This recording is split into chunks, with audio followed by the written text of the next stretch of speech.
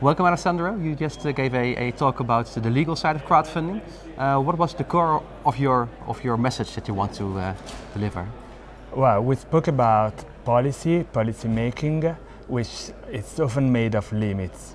Uh, there are limits in legislation concerning the maximum amount that a deal can require to the crowd. There are limits when you uh, allow people to invest in a project. Well, I think that the most important uh, message is that we do not li need limits, we need education, we need information.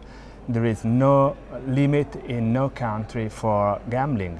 And I don't understand that because gambling does not create any value, while crowdfunding does create value, create employments.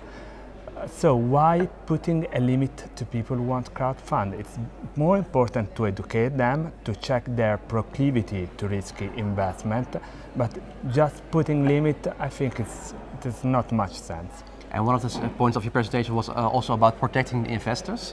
Uh, yes. I think it's really good because uh, also from my own personal experience in crowdfunding, uh, investors they have no idea uh, uh, what they are investing in. what, what kind of practical things has to change to, to uh, protect investors in a better way?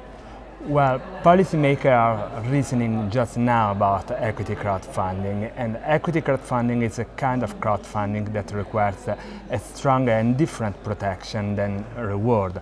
With reward crowdfunding, the risk that you run is that you pre-order something and that something never comes or comes differently from what you imagined. It's something which is related to e-commerce in general, nothing much different. Instead, as far as equity crowdfunding is concerned, you are making an investment, so you must be educated on what is an investment, how to understand the company, how to read the business plan, because you have expectation, expectation of profit, of sustainability of a, a certain business plan. Well, I think that information and education are the most important thing.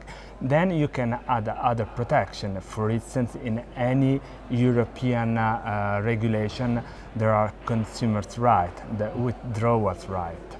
Um, in Italy, there is a very interesting regulation which imposes a so-called tag-along right. So when the founder of the company sells his shares in the company, the crowdfunders have the right to sell their shares together with him at the same price and at the same condition. This is important because often people invest in the team, in the founders of the project. So if they go away, the people who have sustained that business should have the same right to go away at the same conditions. And when you, and you look at the legal aspect of crowdfunding, uh, uh, there are uh, we're living in Europe, uh, and people are not thinking with boundaries, but the legal the legal aspects are connected to boundaries. what and what way do you think can we create a more international legal landscape?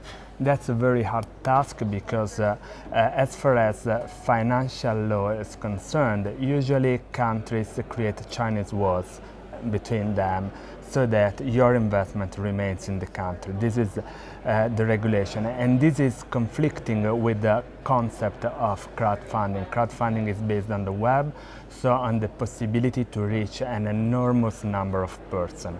In order to um, uh, have the possibility of really enjoying of the power of the web, we need uh, uniform regulation and we need agreements among, among the countries.